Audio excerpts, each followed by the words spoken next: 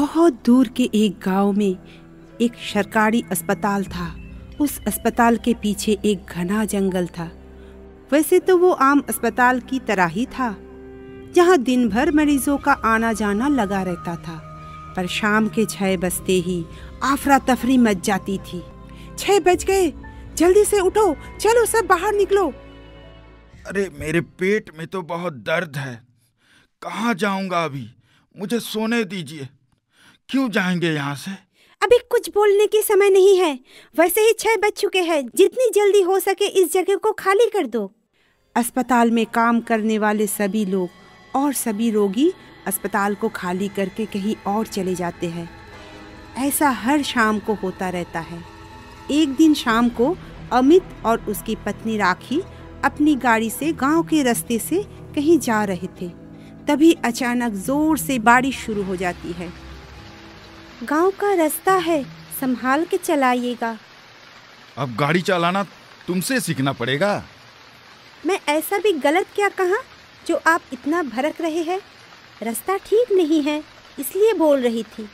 अमित ऐसे ही बहस करता रहा जिस वजह से गाड़ी का संतुलन बिगड़ गया और एक पेड़ से जाकर टकरा गया। इससे राखी के सर में बहुत गहरा चोट हो गया और सर से बहुत खून बहने लगा। राखी राखी, तुम ठीक हो? बहुत खून बह रहा है। सब मेरी गलती है। इसे तो अभी फास्ट एड की ज़रूरत है। आते समय कुछ दूरी पर एक सरकारी हॉस्पिटल दिखा था वहीं ले चलता हूँ। अमित राखी को गोद में उठा लेता है और बारिश में ही अस्पताल की तरफ़ चलने लगता है। अमित इस गाँव में पहली बार आया है। इसलिए अस्पताल के बारे में कुछ भी नहीं जानता था। वो राखी को अस्पताल के अंदर लाके स्ट्रेचर के ऊपर लेटा देता है। अस्पताल एकदम सुनसान देखकर अमित अचंभित हो जाता है। अजीब है। इतना बड़ा अस्पताल और एक भी इंसान नहीं।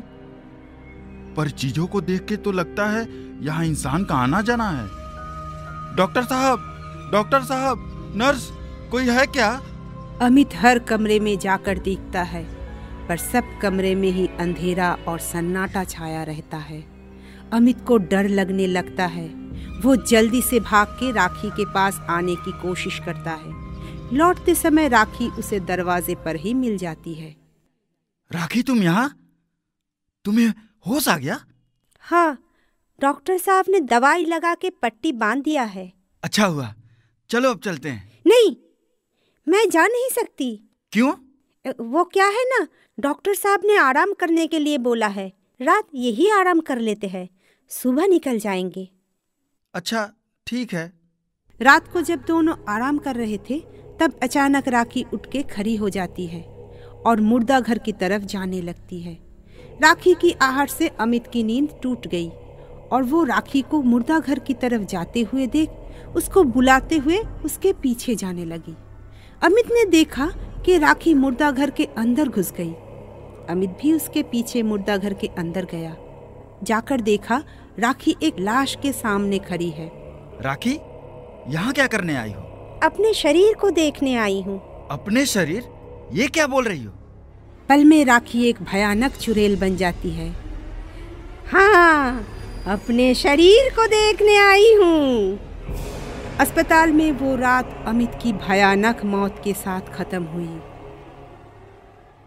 अगले सुबह सब लोग जब अस्पताल में लौटते हैं तब मुर्दा घर में दिल दहला देने वाला दृश्य देखकर सभी फिर से दुखी हो जाते हैं। मुर्दा घर के फर्श पर अमित का सर कटा शरीर और स्टेचर पर राखी की लाश पड़ी थी। फिर से दो और जान अघोरी आत्मा के शिकार हो गई। अघोरी आत्मा? ये कौन है? अब क्या बताऊँ? ये हम लोगों की बदनसीबी है। लगभग एक साल पहले एक रात को दो लड़का एक अघोरी बाबा को लेकर आए। डॉक्टर साहब देखिए ना इसे क्या हुआ है? देखकर तो लगता है यह मर चुका है। इसके साथ क्या हुआ था? हमें पता नहीं डॉक्टर साहब। जंगल में ट्रैकिंग करते समय एक पत्थर के ऊपर लेटा हुआ मिला। बहुत बुलाने पर भी कोई हरकत दिखाई नहीं दिया। तो इस साधु बाबा की मदद करने के लिए यहाँ ले आए। हम्म तुम दोनों की बात पर यकीन नहीं हो रहा मुझे। पुलिस को बुलाना होगा। देखा ना? मैंने तुझे कहा था मदद करने की कोई ज़रूरत नहीं। तूने सुना नहीं। अब फंसा ना। बात जो भी है पोस्टमार्टम करने के बाद पता चल जाएगा। जब डॉक्टर पोस्टमार्टम करना शुरू किया तब हार्ट का चलता हुआ देख अचंभित हो गया। नर्स देखिए इट्स क्वाइट इम्पॉसिबल। इस आदमी का सभी ऑर्गन डेथ है पर इसका हार्ट अभी भी चल रहा है। अमेजिंग। नर्स इसको प्रिजर्व करने का इंतज़ाम कीजिए। ये कहकर डॉक्टर जैसे ही हार्ट को शरीर से अलग किया अघोरी की आत्मा शरीर से निकल के गुस्से से डॉक्टर की तरफ़ देखकर गुर्राने लगा। तूने मेरी तपस्या भंग कर दी। तूने मुझे मार दिया। अब तू भी मरेगा। उसके बाद अघोरी एक एक करके डॉक्टर को नर्स को और उन दो लड़कों को मार देता है। और उस दिन से जो भी शाम छः बजे के बाद उस अस्पताल में रहता है अघोरी उसे मार देता है। लेकिन इसमें किसी का भी तो दोष नहीं है। कुछ सवालों का कोई जवाब नहीं मिलता। अघोरी भी ऐसा ही एक सवाल है। अगर उन दो लड़कों को अघोरी ना दिखता या वो दोनों अघोरी को ना लेके आने का सोचता तो वो लोग आज ज़िंदा होते। इस अघोरी से छुटकारा पाने का कोई रास्ता नहीं क्या? सब लोगों ने मिलके कोशिश तो बहुत किया, पर कुछ भी काम ना आया। आखिरी बार तो यहाँ का एक डॉक्टर ने एक पहुँचा हुआ तांत्रिक को बुला के लाता है। पूरे दिन वो तांत्रिक मुर्दा घर में बहुत पूजा पाठ करता है। फिर छः बजने से पहले सब अस्पताल छोड़ के चला जाता है। तांत्रिक तब भी पूजा करता रहता है। थोड़ी देर बाद अघोरी की आत्मा तांत्रिक के सामने आता है। तू इस अस्पताल को छोड़ के चला जा। तू मुझे आदेश देगा। हा हा हा हा हा हा। बेकसूर इंसानों की जान तू क्यों ले रहा है? इस अस्पताल ने मेरा जान क्यों लिया था? वह तो एक हादसा था। हादसा? हा हा हा हा। फिर ये सब मौत भी हादसा है। फिर अगले दिन जब हम लोग लौटे तो देखा तांत्रिक का लाश पड़ा हुआ है। अघोरी के शरीर का आप लोगों ने क्या किया? उसका शरीर अभी तक मुर्दा घर में है।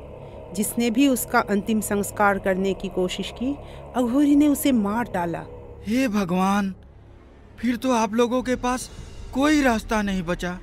एक रास्ता छोड़ के कि छह बजने से पहले अस्पताल को खाली कर दे। लेकिन आए दिन अस्पताल के मुर्दा घर के अंदर मौत का सिलसिला चलता ही रहता है। और जब भी कोई हादसा होता है, अस्पताल में पूरी रात अघोरी की भयानक हँसी गूंजता रहता है। आपको क्या लगता है, इसके बाद क्या होने वाला है? कमेंट करके ज़रूर बताइए। आपका कमेंट हम ज़रूर पढ़ेंगे। इस कहानी के जैसा और भी मज़ेदार कहानियाँ देखने के लिए स्क्रीन में दिया गया वीडियो में क्लिक करके देख सकते हो। और ऐसे ही मज़ेदार हिंदी कहानियाँ के लिए वेबटोन्स यूट्यूब चैनल को सब्सक्राइब और फॉलो करके रखिए।